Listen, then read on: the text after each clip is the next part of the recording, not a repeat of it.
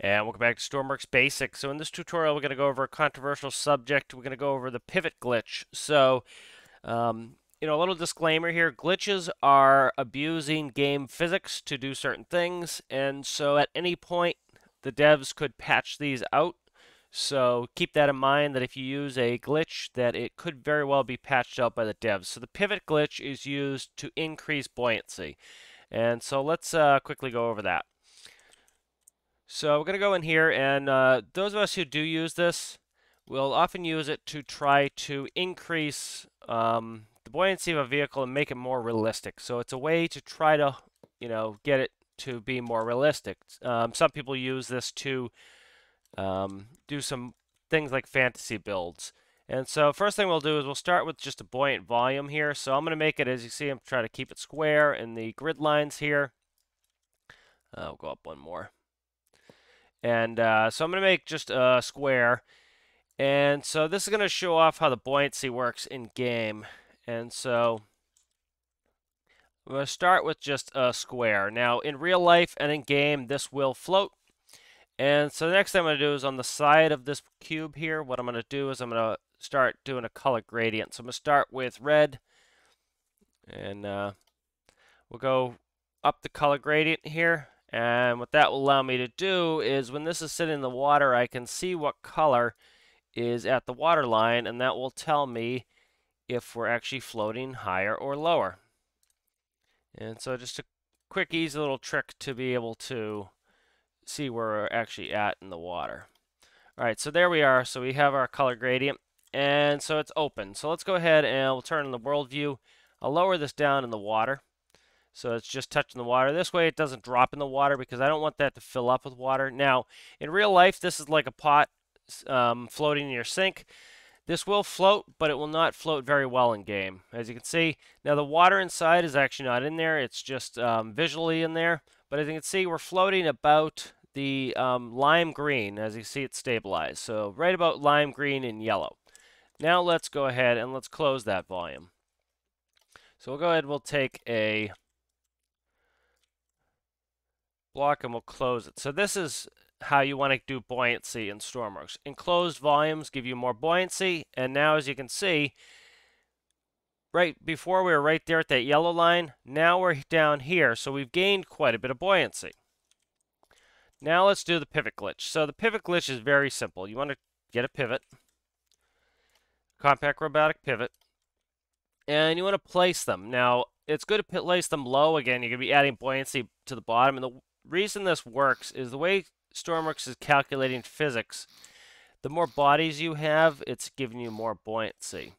And so by what I mean by bodies, if you go to the merge view and you look, you see the different colors, those are your different bodies. So the red one's always your main body, and these are all your different bodies. So if you notice, we have all these different bodies. So now it's like, what is this? 1, 2, 3, 4, 5, 6, 7, 8, 9. So we have uh, 19 bodies, including the box. So now let's go ahead and spawn that. And as you can see, we're sitting a little bit higher, but not much. So you see, we do get some benefit out of it. So we're about, let's see, where are we at? Let's zoom exactly in there and see. So we're right about, right about the bottom of this red block here. Now let's take them out.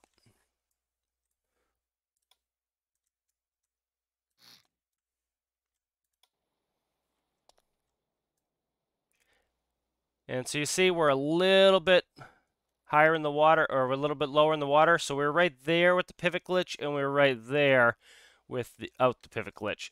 So you see it adds some buoyancy now. For example, something like a huge tanker. I have um, a large tanker that I still can't hold as much oil as the real one does. It's a, it's a um, scale model of the real one. It's actually two scale of the real one and I can't get as much buoyancy even with, I think I have 48 pivots in there. So the pivot glitch does, as you can see, give you more buoyancy, but it's always best to um, try to do it without that. Now let's try something else here. So let's go in the workbench.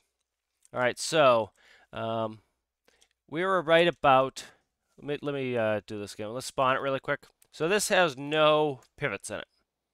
All right, so let's see where it kind of settles. Right around the bottom of the orange. So it's right about here is where it is. So we're just going to paint something on there. So we'll paint a black dot right where it's where the so that's without any pivots. All right. And so now let's try something different. Let's go ahead and let's delete out the bottom. Let's go ahead and we'll delete out the top. Now, the more air we can cram in there generally will give us more buoyancy. You know, you think of you're stuffing air in there. So I'm going to do some half blocks. Now, this does two things. One, it weighs less. So let's actually back up. We'll go full floor, full ceiling. Let's look at the weight. Weight is uh, 1482. Okay. So 1482. So one thing, these blocks weigh less. And they're also allowing more air in this volume. So it's causing the creation to weigh less and to put um, more air in there. So it was 1482. Let's do the bottom and then we'll we'll weigh it again. And so there's another way you can increase uh, buoyancy without without having to do the glitch. Now again, the negatives of the glitch are at any point the devs could decide that they want to patch that out of the game.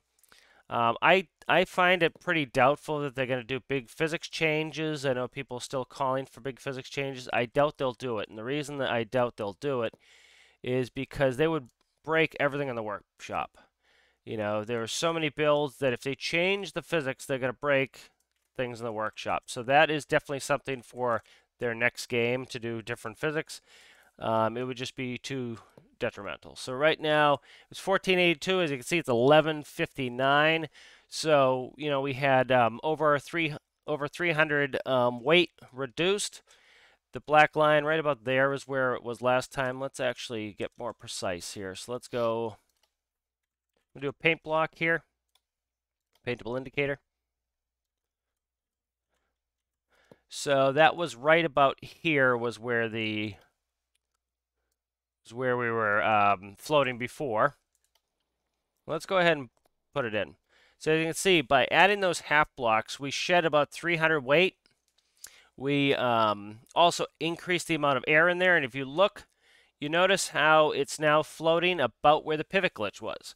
So you can use the pivot glitch. The pivot glitch does have some issues. Uh, it can cause some physics problems, but you actually can get pretty close to it by doing things like half blocks. Now, if we want to do half blocks on all the walls, we could even get this to float even higher because we'd be dropping the mass. So these are all some tricks to try to understand the buoyancy. Again, um, you know, use glitches with caution. They could easily get patched out. So hope you guys enjoyed. We'll see you in the next one.